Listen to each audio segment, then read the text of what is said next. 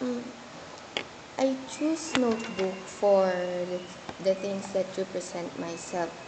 Why? Because notebook is for what's notebook purpose is just like me.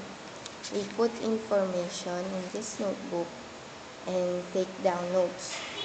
For myself, I don't have any experience, so I must to fill up with new skills and information then aside from that, notebook I many of us use notebook as for personal things like diaries.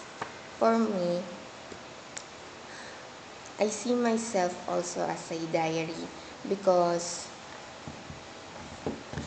because you put your own personal things in this. You write this as your secret for my friend.